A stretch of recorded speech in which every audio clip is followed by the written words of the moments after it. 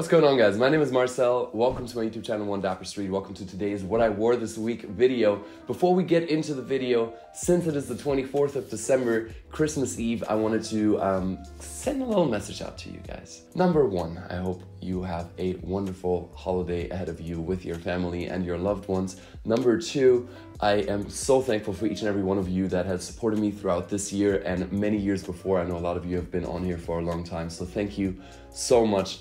Um, this year's been a little crazy for me personally, and I'm really just excited for 2023 to run this channel full steam again with you guys, for you guys. So look forward to a lot more videos from One Dapper Street, yours truly, next year. And then lastly, before we get started, next week I would like to post another fan outfit review video, which we haven't done in so long, but I love seeing your looks. I love giving you a little feedback.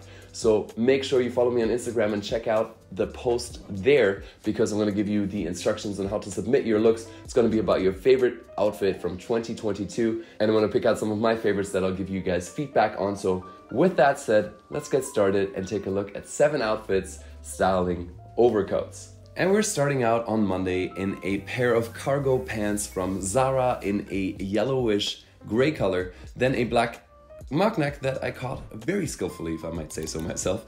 This is a black uh, mock neck that I just picked up from Uniqlo. Absolutely in love with this thing. Uh, I love the mock neck this season.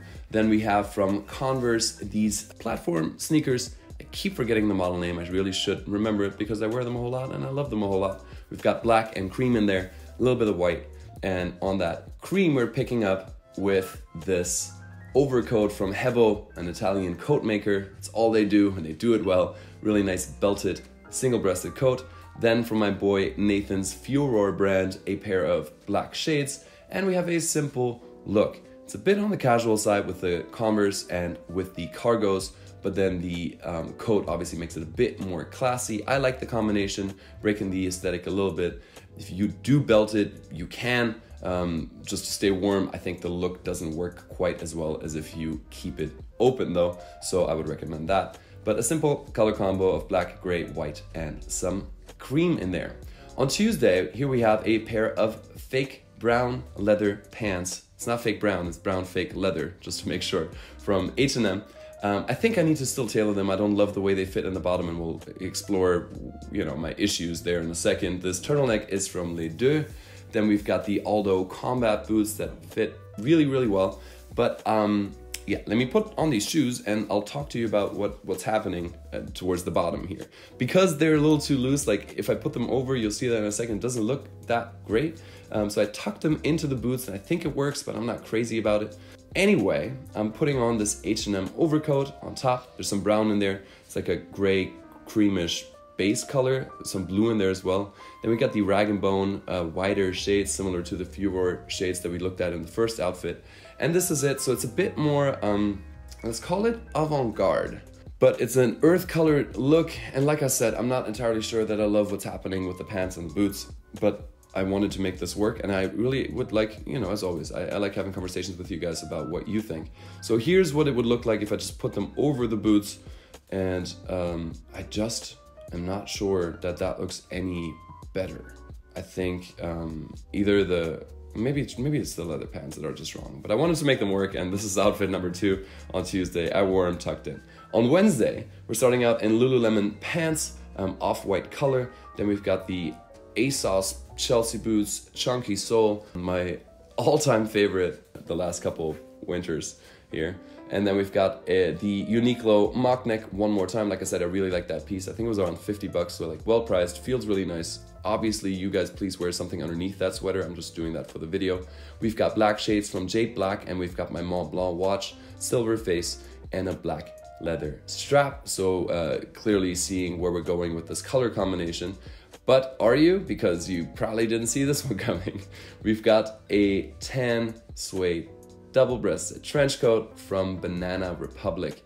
And look, we, we have that black accent, obviously, in the boots and the sweater. We have the lighter colored pants, but they are a bit earth tone leaning, so I thought this coat was a nice way to finish that off. Nice and casual, not the warmest outfit, depending on where you are, this is not going to work. Obviously, with a lot of these looks, you can always add beanies and scarves and uh, gloves, which I'm not doing for the purposes of this video.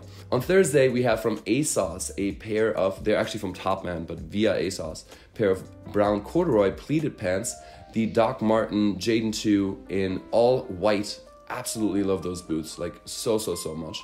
Um, and I think they look really cool with the corduroy. Then we have up top from, um, what am I trying to say here? I don't know. Oh yeah, you guys wear something underneath. I'm just wearing a hoodie. You know, it's weird sometimes doing these voiceovers a little delayed from when you actually shoot the video. But the hoodie is white, picking up on the white of the boots, and it's from Todd Snyder um, with a little Snoopy graphic in the front, and Brooklyn, which is where this video is shot. And then we're finishing off with another piece from ASOS actually, this overcoat. Um, we've got my Longines that picks up on those colors, a little blue and a little brown. The coat is um, obviously primarily light blue, but then we have some darker brown tones and some lighter brown tones in there picking up on the uh, pants. And uh, to me, this is a very interesting look. I, I, don't normally combine those earth tones in blue with this with this bright white, but um, I thought it looked pretty cool. I thought it looked pretty sick. It's a bit more of a streetwear vibe overall. On Friday, we're getting a bit dressed up because it's Friday, right? Uh, we're gonna keep it classy. Um, you could be wearing this to a funeral because it's gonna be an all black outfit, or you could be wearing this to a club because uh, it's an all black outfit. It's Friday and it's all black. The pants are from Suit Supply, that's where the suit is going to be from. The turtleneck is from Zara, I picked that up last week in a couple more colors than this, but I actually didn't have a classic black one in my closet anymore, so back in there it is. ASOS boots, one more time. I really like even the chunky vibe with a suit. To me, that looks really cool. If you want to keep it more classy, just opt for a regular black Chelsea boot. But here is the double-breasted jacket that completes the suit. It's a wool flannel suit, Italian wool, beautiful. This is the Havana fit from Suitsupply. Uh, my favorite fit, that's all my suits from there are pretty much that. Then we have my Piaget on my wrist, silver link watch. And then we're finishing off with this Nili Lotan trench coat in black. You can see that the black isn't quite as deep as the other blacks in the outfit, but it's so minimally off that I don't really mind. Now I'm standing there kind of like Dracula with this massive collar popped. I like that look. I know a lot of guys don't. Uh, some guys think it's tacky or you know weirdly bougie or whatever. I really like it, um, so I tend to wear my trench coats with my collar flipped up, but even belted. This looks really really nice and you can't really go wrong with an all black fit. On Saturday, we're in white jeans because I love my white jeans in the fall and the winter. We're in another pair of Doc Martens, the Ziggy Sole Pascal boots in a nice cognac brown color.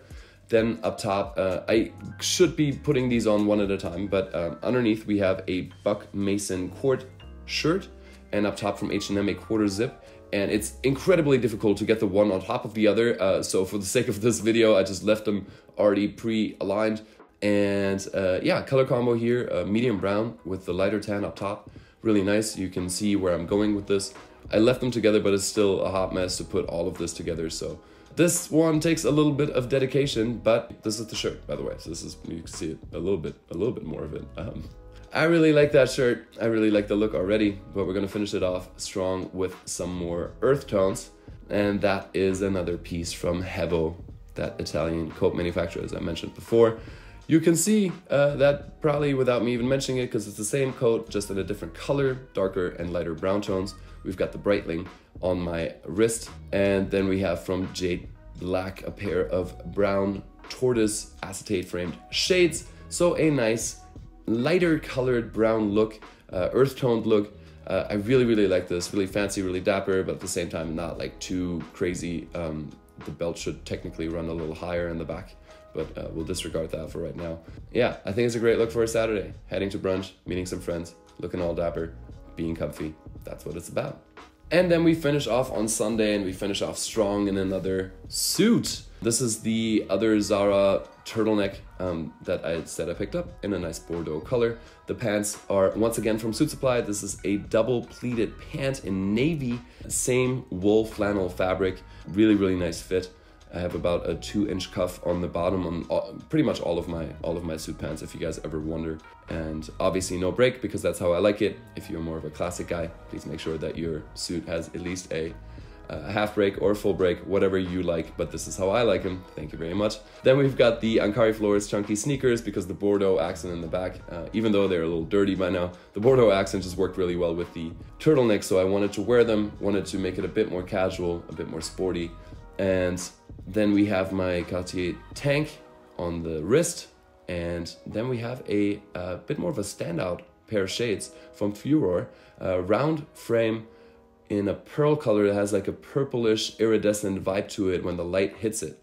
So before I put that on, let me um, put it in my pocket because you'll see what I'm doing with those shades in a second. But this is the single-breasted Havana blazer in that navy flannel fabric one more time. Um, the suit is complete and now the outfit is complete with another piece from Suit Supply, a double-breasted blush pink overcoat that I think is absolutely beautiful. I had this in my closet for about three years now. And now I'm popping on the shades because now it makes sense. There's some of that color that's reflecting when the light hits the frame is reminiscent of the, the pink of the outfit. The pink is playing off of the Bordeaux as well. And I think the navy is a really nice choice to kind of balance that. So a bit more of a standout suited look than the simple black one that we looked at before even buttoned up. This looks really, really nice where we have that Bordeaux and that pink. So that is it for me today. Thank you guys so much for watching. I hope you enjoyed it. Leave your thoughts, comments, questions down below in the comment section. Make sure you subscribe, do all of that. And then one more time, happy holidays, and I'll see you guys soon with the next one. Until then, as always, stay dapper.